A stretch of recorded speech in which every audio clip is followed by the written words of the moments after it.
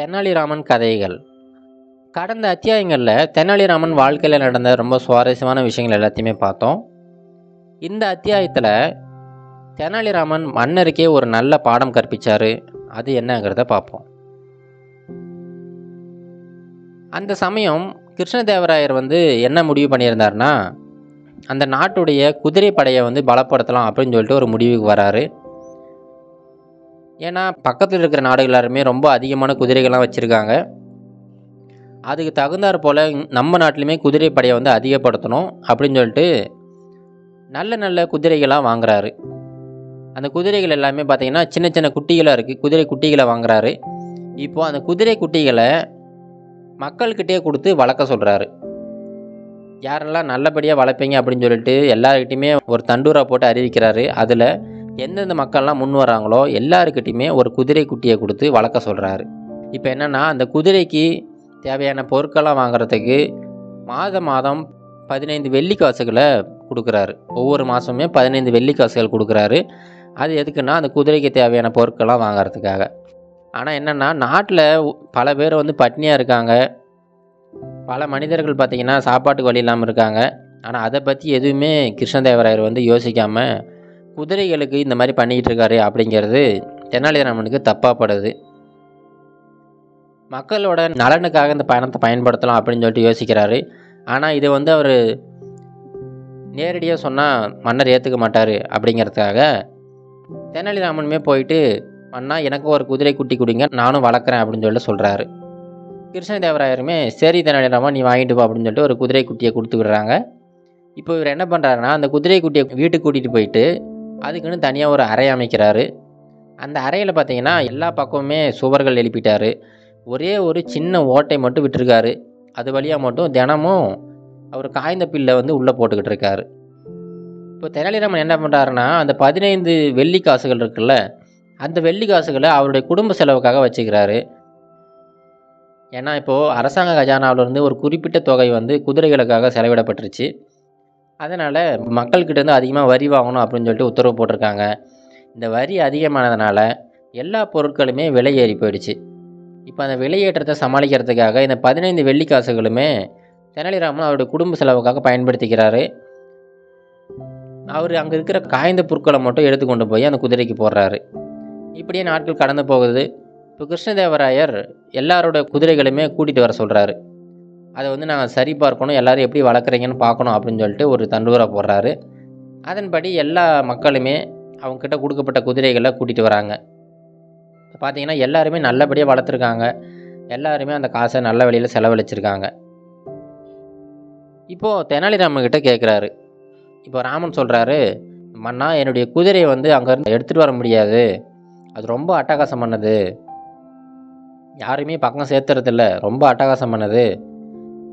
அதனால் நீங்கள் வேறு யாராவது எங்கள் கூட அனுப்பி விடுங்க. அப்போ தான் என்னால் அந்த குதிரையை கூட்டிகிட்டு வர முடியும் அப்படின்னு சொல்லிட்டு சொல்கிறாரு இப்போது கிருஷ்ணதேவராயர் அவருடைய படை தளபதியை வந்து அங்கே அனுப்பி விடுறாரு.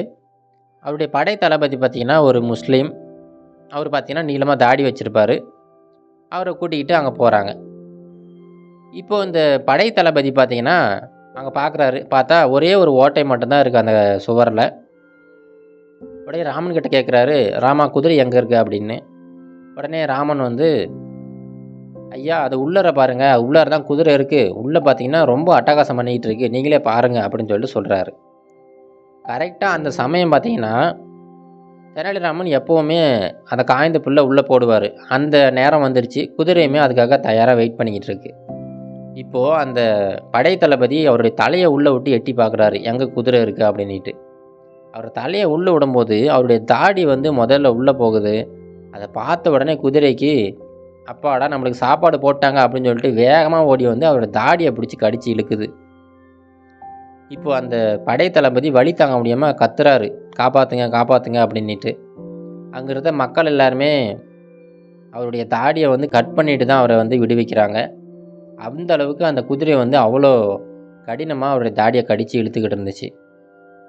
இப்போ கடைசியாக அந்த சுவரை வந்து உடைச்சி தான் அந்த படைத்தளபதி அந்த குதிரையை கூட்டிகிட்டு போகிறாரு இப்போ மன்னர்கிட்ட கூட்டிகிட்டு போய் அந்த குதிரையை விடுறாங்க. ம குதிரையை பார்த்தீங்கன்னா ரொம்ப மெலிஞ்சிருக்கு. மன்னர் கேட்குறாரு ராமா நான் வந்து உனக்கு மாதம் மாதம் பதினஞ்சு வெள்ளி காசுகள் கொடுத்தேன். ஆனால் நீ வந்து அந்த வெள்ளி காசுகளை செலவு பண்ண மாதிரியே தெரியலையே. ஏன் குதிரை எப்படி இருக்குது அப்படின்னு சொல்லிட்டு கேட்குறாரு அதுக்கு ராமன் சொல்கிறாரு மன்னா இங்கே பாருங்கள் நான் வந்து இந்த குதிரைக்கு காஞ்ச புற்கள் தான் போட்டேன். அந்த காஞ்ச புல் சாப்பிட்றதுலேயே இந்த குதிரை வந்து இவ்வளோ அட்டகாசம் பண்ணுது. நம்ம படைத்தளபதியோட தாடியவே பிடிச்சி இழுத்துருச்சு. அதுவே நான் வந்து நல்ல சாப்பாடு கொடுத்துருந்தா என்னெல்லாம் பண்ணியிருக்கோம்? அந்த சுவர்களவே இடிச்சிட்டு வெளியே ஓடி போயிருக்கோம் அண்ணா அப்படின்னு சொல்லிட்டு சொல்கிறாரு ஆனால் இந்த பதில் வந்து தென் மன்னருக்கு ஏற்புடையதாக தெரியலை. மன்னர் மறுபடியும் கேட்குறாரு நீ பண்ணது தவறு தெனாலிராமா ஏன் இப்படி பண்ண? அப்படின்னு சொல்லிட்டு கேட்குறாரு அதுக்கு இப்போ தான் வந்து தெனாலிராமன் சொல்கிறாரு மன்னா நீங்கள் பண்ணது மட்டும் சரியா? நம்ம நாட்டிலையுமே பல மக்கள் வந்து ஏழைகளில் தான் இருக்காங்க. அவங்களுடைய வாழ்வாதாரம் வந்து என்ன அப்படின்னு சொல்லிட்டு நீங்கள் சரியாக கவனிக்கலை. அவங்களுடைய வாழ்க்கையை எப்படி முன்னேற்றலாம் அப்படிங்கிற எந்த ஒரு விஷயங்களுமே நீங்கள் பண்ணலை. அதை தவிர்த்து நீங்கள் வந்து எல்லாருடைய வரியையுமே ஏற்றிட்டீங்க வரி வந்து அதிகப்படுத்தினதுனால பல மக்கள் அவங்களுடைய சாப்பாட்டு பொருட்களை கூட ஒழுங்காக வாங்க முடியாமல் பட்னியாக இருக்காங்க. இது எந்த விதத்தில் சரியாகும் அப்படின்னு சொல்லிட்டு தெனாலிராமன் கேட்குறாரு இப்போ தான் கிருஷ்ணதேவராயருக்கே அவர் செஞ்ச தவறு புரியுது. அதிலிருந்து அவர் என்ன முடிவு பண்ணாருன்னா அந்த குதிரைகள் எல்லாத்தையுமே அரண்மனைக்கு கூட்டிகிட்டு வந்துருங்கன்னு சொல்லிட்டு உத்தரவு போட்டார். அதுக்கப்புறம் அந்த குதிரைகளுக்கு அடுத்து இன்னும் பல குதிரைகள் வாங்கலாம் அப்படின்னு சொல்லிட்டு ஒரு குறிப்பிட்ட தொகையை அரசாங்க கஜானாவிலேருந்து எடுத்து வச்சுருந்தாங்க. இப்போ அது எல்லாத்தையுமே எடுத்து மக்களுக்கு நலத்திட்டங்களை வழங்கலாம் அப்படின்னு சொல்லிட்டு முடிவு பண்ணிவிட்டு அதுக்கு செலவு பண்ணுறதுக்காக உத்தரவு போடுறாரு.